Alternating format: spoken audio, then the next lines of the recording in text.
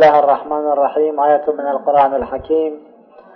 إن الذين آمنوا وعملوا الصالحات سيجعل لهم الرحمن ودا. الود بمعنى الحب. المودة والمحبة معناهما واحد. والفرق بينهما أن المودة في القلب والمحبة ما يظهر على اللسان وعلى اليد وعلى الجوارح. إن الذين آمنوا وعملوا الصالحات كان مؤمنا بالله واليوم الآخر. الشيء الثاني وعملوا الصالحات. يعمل صالحا. عمل الصالح يعني شنو؟ يعني الصلاة الصوم الجهاد المعروف الخمس من الأعمال المعروفة. إن الذين آمنوا وعملوا الصالحات سيجعل لهم الرحمن ودا وبالسين مو يجعل سيجعل. يعني يحتاج إلى شوية صبر. من الطبيعي أن الناس يحبون المؤمنين العاملين بالصالحات. أي مؤمن عامل بالصالحات أول ما يتلقاه من الجزاء أن الناس يحبوه ولو بينهما مسافة زمنية أو مسافات مكانية. ومن عجيب الأمر حتى أعداء الإنسان الذين يحاربونه بالسيف يحبونه قلبا. أكو فرق بين إنسان يحبك قلبا وبين إنسان لا يحبك قلبا. هذا الإنسان الذي سحق جسم الإمام الحسين جاء إلى ابن زياد يريد جائزته. شنو قال له؟ قال املأ ركابي فضة أو ذهبا إني قتلت السيد المحجبا قتلت خير الناس أما وأبا. بس قتله لكن يحبه هو يعني أن الإنسان الذي آمن وعمل الصالحات حتى أعداؤه الله سبحانه وتعالى يجعل في قلوبهم محبة له. القاعدة كلية راجعوا التاريخ القديم والحديث. شوفوا الأناس المؤمنون الصالحون حتى أعداؤهم يحبونهم. معاوية وعمر العاص كانا يحاربان الإمام لكن يحبان الإمام. الخير إنسان يحب. بل لعله مصالحي تتصادم مع مصالحه. ولعله أنا أريد الرئاسة وهو يريد الرئاسة. لكن قلبا يحبه. ذات مرة معاوية تكلم مع بعض وزرائه حول فضائل الإمام أمير المؤمنين. فرد واحد من الحاضرين قال له إذا علمت هذا الشيء فلماذا تحاربه؟ قال إني أريد أن يصدر اسمي على الصحف. مو اسم علي بن أبي طالب. لأنه يحب علي بن أبي طالب لكن مصلحته الشخصية تصادم مصلحة الإمام لا أكثر ولا أقل. حب موجود. ذات مرة فرد واحد كان جاء من الكوفة إلى الشام فزار معاوية ومعاوية ملك كما تعلمون مثل الملوك شخصية وفخفخة وكبكبة وبعد معروف قصر وسيافين وجلاوزة وما أشبه.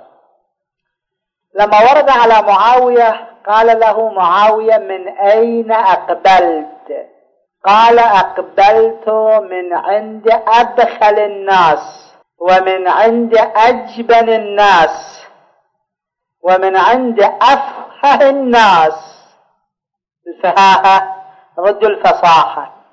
الإنسان قد يكون فهيها فاء هاء ياء هاء ألف فهيه. وقد يكون فصيحا. الشخص اللي يتمكن يتكلم ويظهر عما في ضميره يسمى فصيحا الشخص الذي لا يقدر أن يتكلم ويظهر ما في ضميره يسمى فهيها على وزن فصيح. فهيه وفصيح. معاوية سأل منه من هذا الرجل من أين أقبلت؟ قال أقبلت من عند أبخل الناس ومن عند أجبن الناس. ومن عند أفحه الناس. قال من هو؟ فرد واحد يجمع البخل والجبن والفهاهة. هذا ترى شيء جدا نادر في الاجتماع. من هو؟ الرجل قال هو علي بن أبي طالب.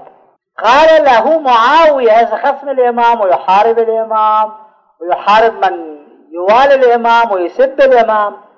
قال له ويلك شنو هالكلام التافه منك؟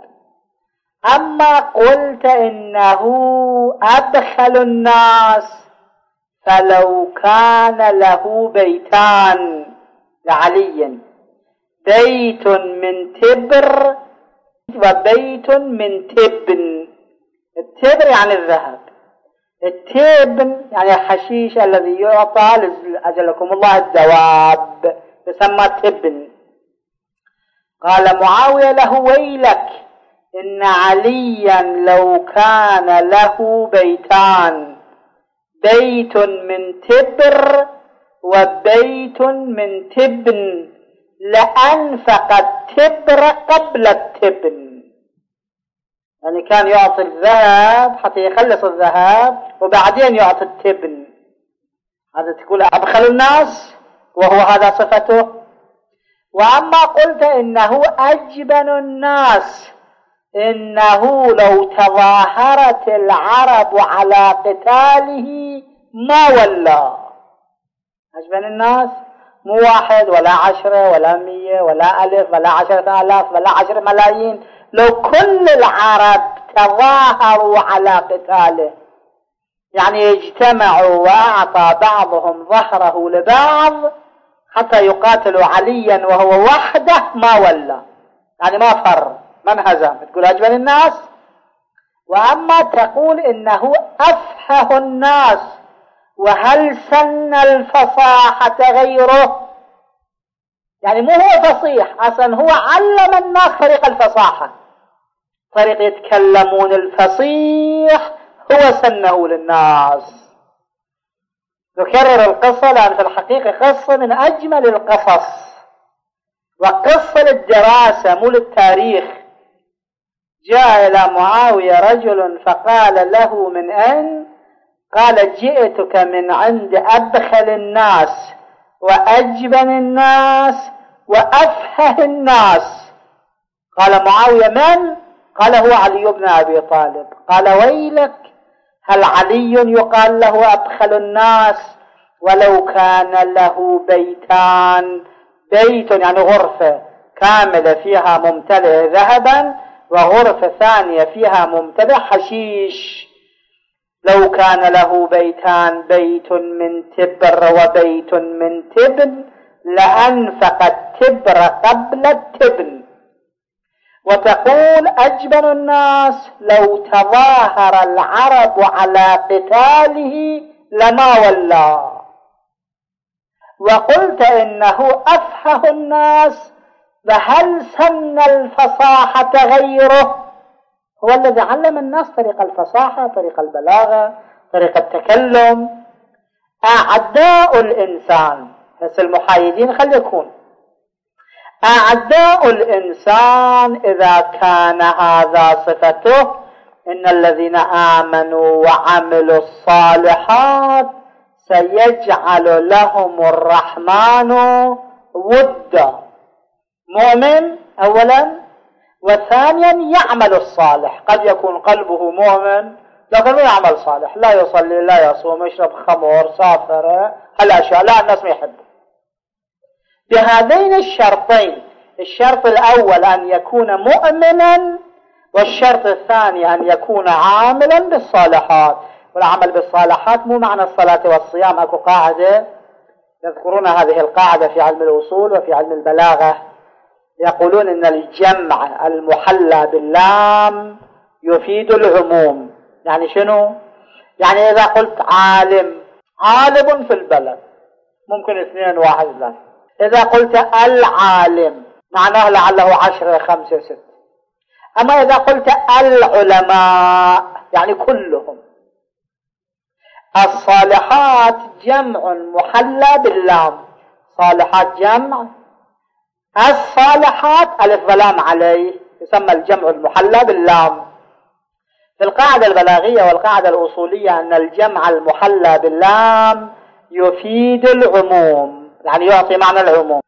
فمعنى الذين آمنوا وعملوا الصالحات يعني كل الصالحات يعملها. مو معنى بعض الصالحات. خدمة الناس أمر بالمعروف جهاد في سبيل الله صلاة صيام صدق لسان خير إنفاق شنو صالح؟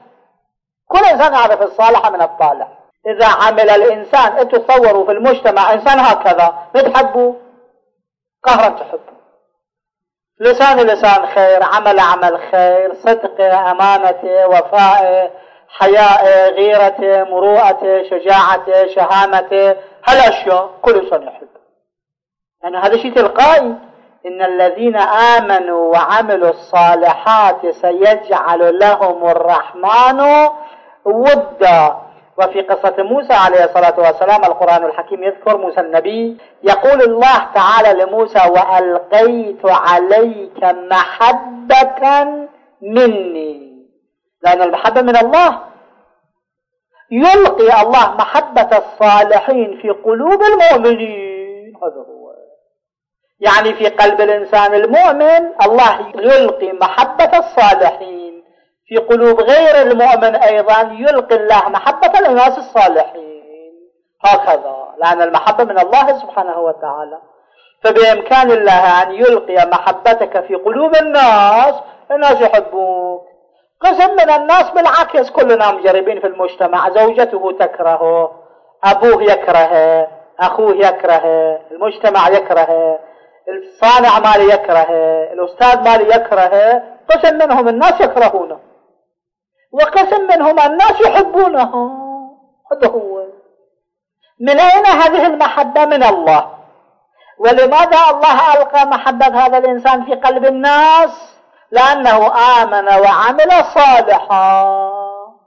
كان مؤمنا وكان عاملا بالصالحات. هذا لا يحتاج إلى وظيفة ولا يحتاج إلى مال ولا يحتاج إلى شخصية. أن تكون هكذا الله يلقي محبتك.